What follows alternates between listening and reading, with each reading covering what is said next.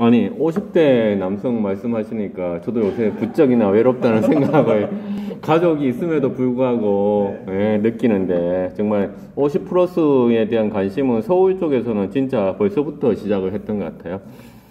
그리고 지금 우리가 12월 달인데 지금 이제 현수막에도 보면 1차로 이제 위원회가 되어 있잖아요. 그러니까 어뭐 위원회 원래 규정이 어떻게 되어 있는지 모르겠는데 온라인으로 상으라도 뭐 위원회를 개최했어야 되는 거 아닌가라는 그런 생각이 들더라고요. 다른 재단들하고 이제 비교를 해보면. 근데 유독이나 좀 온라인에 좀 약한 것 같아가지고 저도 오기 전에 이제 여성가족재단 유튜브 들어가 보니까 동영상이 한 대여섯 개밖에 없고 그래서 구독자 수 보니까 백 몇 명 정도 되더라고. 그래서 좀 그런 소셜미디어 쪽으로 좀 강화를 좀 하셔야 되는 거 아닌가 싶어서 그래서 행여나 해서 좀 비교를 위해서 다른 가족재단들에 들어가 봤거든요.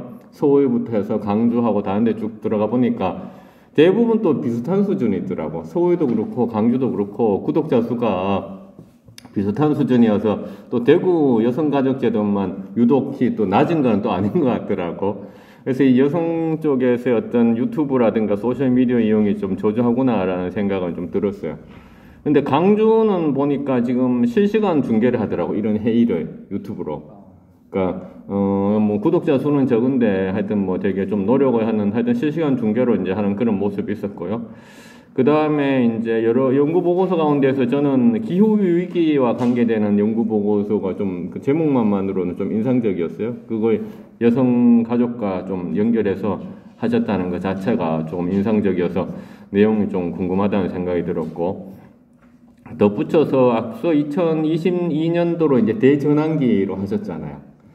그런 시점에서는 지금까지 했던 그 연구 보고서들의 어떤 내용들을 좀 빅데이터 분석을 통해 가지고 어, 여성가족재단이 지금까지 걸어왔던 길을 한 번쯤은 지난번에 이제 우리 수기했는 것처럼 해보는 것도 이 2022년도의 목표에도 맞고 조금 어필할 수 있지 않을까. 왜냐하면 대전환기라고 했으니까. 그래서 뭐 제목이라든가 요약문 통해 가지고 좀 지금까지 했던 성과들을 좀 정리하는 것이 좋지 않을까라는 그런 생각도 들었습니다.